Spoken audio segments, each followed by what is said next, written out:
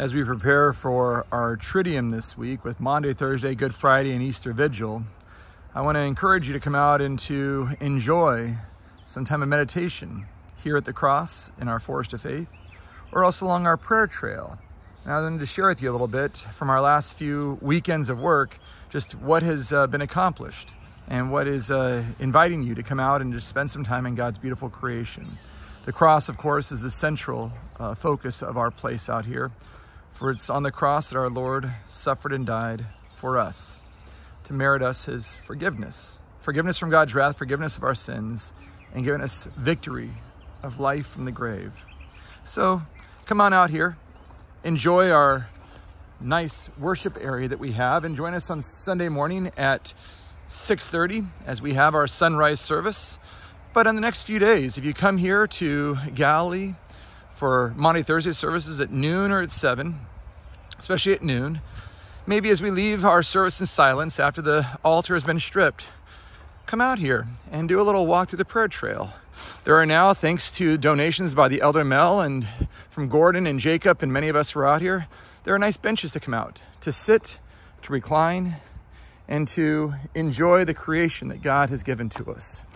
I'll take you on a little stroll. We have some new wood chips out here, it looks like. But we also have provided path guides with all the fallen logs that have come down in order to provide a, a better sense of where the trail is. Beautiful flowers that bloom in the spring.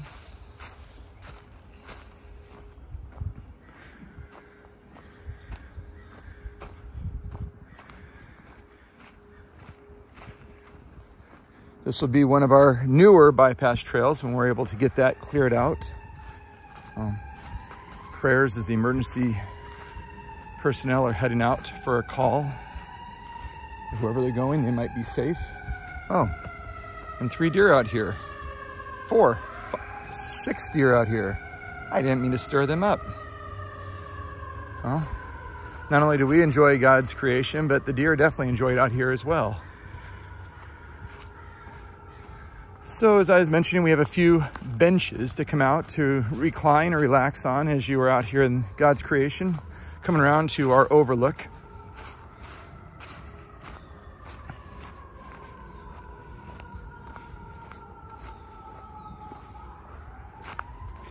You can see with the trail markers now, the trail is much more easy to see. It is fairly wide.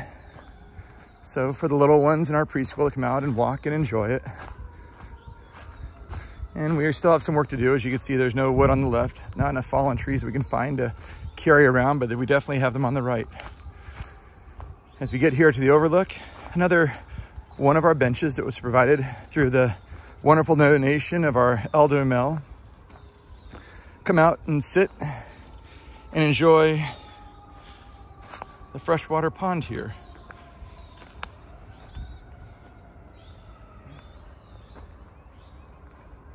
The view from the bench. Nice place to come and sit and enjoy. And then the little path that goes back to our worship and altar area here. So you come down this little hill. It's uh, needs a little more of the uh, path guide markers, but it's all mulched and uh, leaves down to help us. A nice little sitting area down here for Bible study or for just meditation next to the water's edge. Looks like some animals, some deer have been going through here. Also some children. Let's find a little plastic rubber ball down here.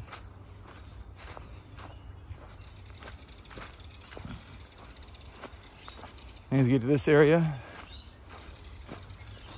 you can see another bench provided, another place to sit and just to enjoy God's beautiful creation. This area will be cleared out a little better with mulch and with markers so we can have a nice little sitting area. As you can see, the cross in the worship area is right up there. But going back to our path, as we have now a few more offshoots, little areas to travel. So if you have little ones with you or big ones, you can make this trail pretty easy. Only a couple steep hills. One of them is to come down this lower area here. and of course on the other side.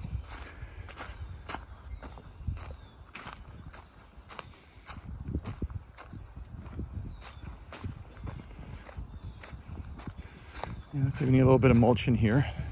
Some of the underground bush, brush, and the uh, weeds are coming through. So after Easter, we'll do another little workout here. Here's our bench again overlooking the pond. And this is the part of our trail that is probably the least marked because very few fallen trees here. we try to work with what we have, what God provides. Even though it's clear for us who have laid it out with the leaves down and the mulch covered, it's hard to see how this little S snake here, part of our trail, comes around. And then you get back to the markers again.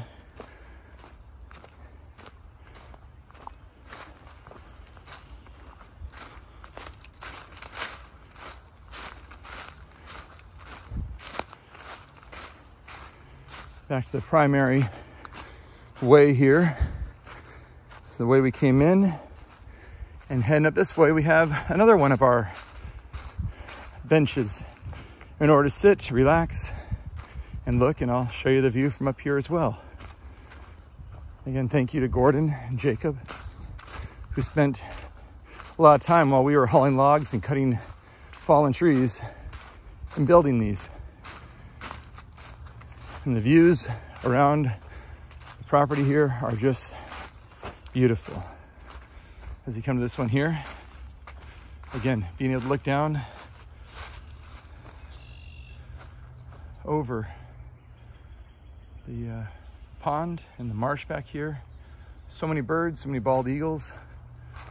The trail continues a bit that way. We're gonna go this way to share a little bit of the new area that we had made.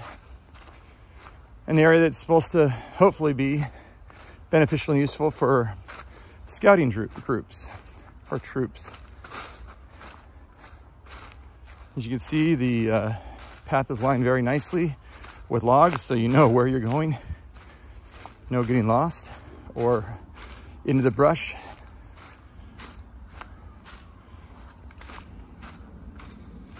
But out here to our left is a nice flat area where there might be some deer again, we'll see. Following the trail of logs the path markers.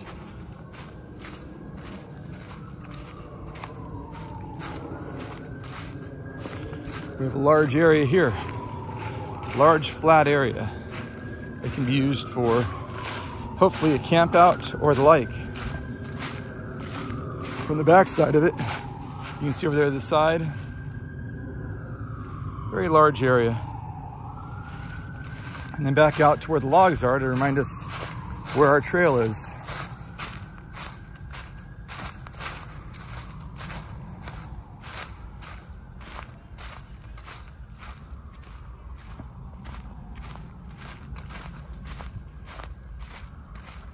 and then back around.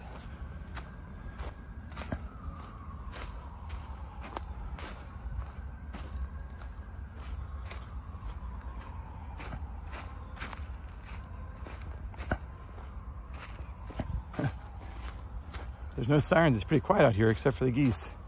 You can see the logs that guide you drill through here.